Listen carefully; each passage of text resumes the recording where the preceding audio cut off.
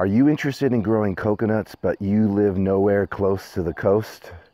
Perhaps you even live a little higher in elevation. Well, in order to grow coconuts in these situations, it takes a little bit more work on your part. And I'm going to show you how to grow healthy coconuts that produce fruit even when you're miles from the coast or a thousand feet in elevation. So let's dive in.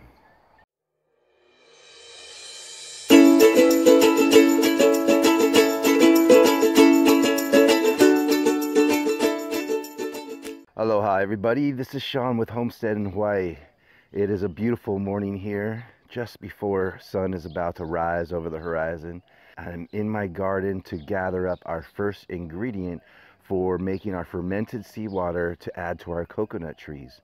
And that first ingredient, we're gonna make a concoction called fermented plant juice. And today we're gonna use comfrey. It's recommended that, that you use one type of plant, but any plant really can do. You want to find a plant that has the the properties that you want to attract. So comfrey is able to bring up lots of vital minerals from deep down in the ground and we want to be able to include these minerals with our coconut tree.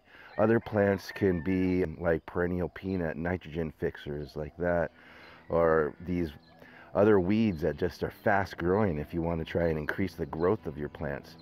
But today we're going to focus on the comfrey and we're going to start by making that fermented plant juice.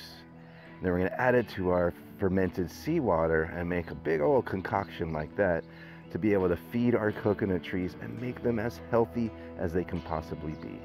We're going to start by harvesting a bunch of leaves of this comfrey plant. It depends on how much you want to make is how much you want to harvest, but we're going to get enough for a small batch, nothing too big here today. So we're not going to harvest this whole plant today. So with whatever plant material you gathered, you want to just start twisting and mashing the plant into a bucket, trying to work the juices out of the plant. Just squeeze and mash and twist and grind. Do whatever you can to try and encourage the juices to come out of this plant.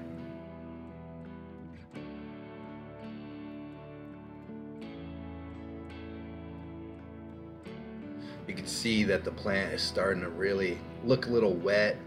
Moisture is starting to come out of the comfrey here. It's really getting ground down now.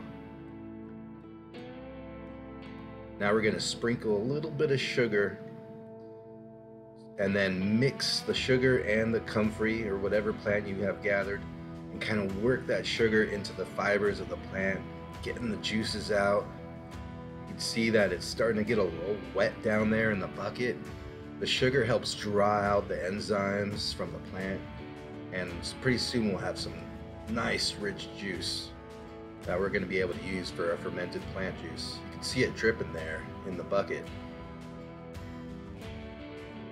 Once we're done getting the juices out of the comfrey, we're going to press it down into the bottom of the bucket and then sprinkle a layer of sugar all across the top of that. And then we're going to leave it out for about an hour. Once you're done with that, just put a cloth over the bucket and leave it out until you're ready for the next step in one hour. So it's been about an hour. We're gonna come in. Oh, and you can see the juices really coming out of that now. And give it a little more of a mix. I like to weigh it down even more at this point by putting this ba a bag inside. And then we're gonna fill it with water. So we're gonna leave that bucket full of water weighing down our fermented comfrey down below for about two, three days. We're gonna let it ferment a little and then we'll be ready to finish up this fermented plant juice that then we could add into our fermented seawater. All right, it's been a couple days of this fermented plant juice sitting here and fermenting and it's doing its thing. So let's go ahead and, and take it all out, see what we have to work with. You can see that black goo down there. That's all the juices from the plants being sucked out by the sugars. And now we have a rich concoction of fermented goodness that we're gonna feed our plants. We won't need a lot of this fermented plant juice to be put into our fermented seawater concoction. So we'll have a lot of it left over for future projects or just spraying in the yard, just straight, straight as fermented plant juice. This is a great product directly as it is right now. But let's transform it into fermented seawater so that our coconuts can get a little bit more of a boost around here. Before we get going, adding the seawater with the fermented plant juice we just made, we're gonna make sort of a, an oat wash. You can also do this with rice or any real starchy product, potatoes probably.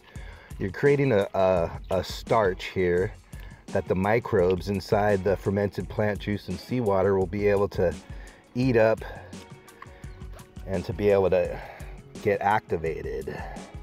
And there you can see the water turning white. If we want to, we can squeeze out some of the oats, begin to filter it out. You have a cheesecloth, that's great. We're just gonna give this oatmeal to our chickens. So it's gonna be just, just fine to throw out.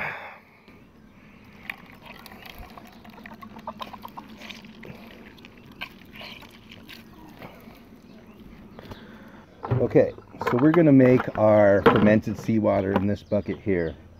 First thing we're gonna do is fill it up with some seawater. And I collected this just along the shore at a beach in Hilo. Give it a little rinse. And it, you know, it's good to get the water close to shore. It Has less of a salt content. And with everything here that we're making, it's all going to be watered down. So a little bit goes a long way. So we're just going to strain about maybe a quarter cup of this liquid inside.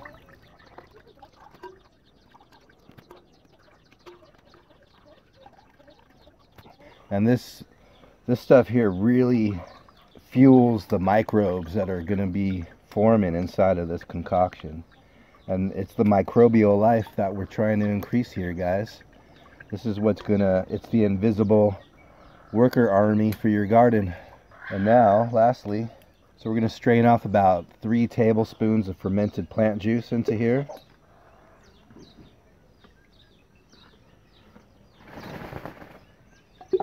You can see that fermented plant juice is like a a thick syrup. So go ahead and stir all that up.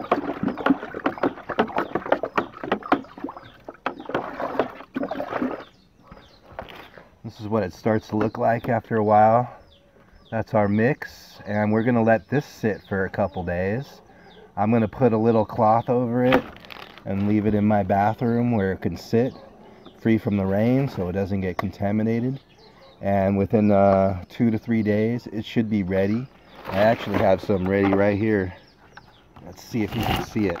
Here's a fermented plant juice that we made already the other day and you can see how the bubbles have formed on the surface of the seawater here and it's about ready to use all we're going to do is we're going to water it down about 30 to 1 or 50 to 1 depending on the ratio that you're looking for you can just spray it on the coconut trees or just water it into the soil. However you want to use it to feed your coconuts, that'll, that'll work for it. So let's go ahead and get this out onto the plants right now.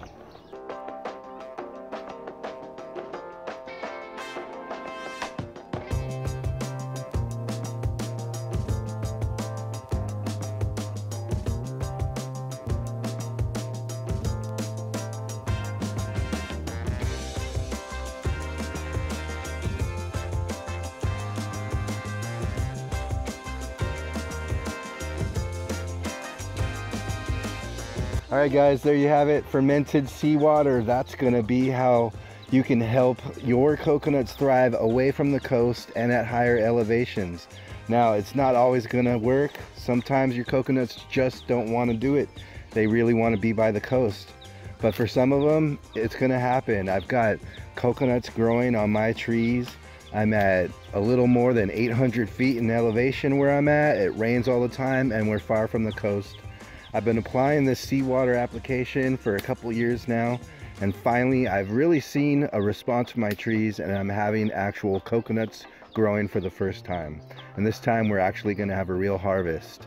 So I'm really excited about, about that. I really feel like the fermented seawater has made a difference here. I highly recommend you adding fermented seawater to your regime if you're planting coconuts away from the coast or at higher elevations so that perhaps one day you could have coconuts of your very own growing on your property, which is really exciting, isn't it? We all want to be growing more food, and why not grow one of the most useful plants in the world? Beyond just the, the food, the coconuts that you can eat, the palms are great for thatching, which I hope to build out of it in a treehouse that I'm working on. And the meat can be made into milk. It's a high in fat food that's great to have on the homestead. And it's just overall something that just everyone enjoys. A coconut in paradise, right? Thanks for watching everybody. I hope you like this video. Please hit the like button and subscribe to this channel. It really helps. And please leave a comment. Let me know what you think about this video. If you've been making any sort of natural farming implements of your own. And, you know, I may have gotten some things wrong. I'm not a purist when it comes to natural farming, but I take some of the essence of what I've learned and it seems to have been working. So thanks for watching. Till next time, everyone. A hui hou!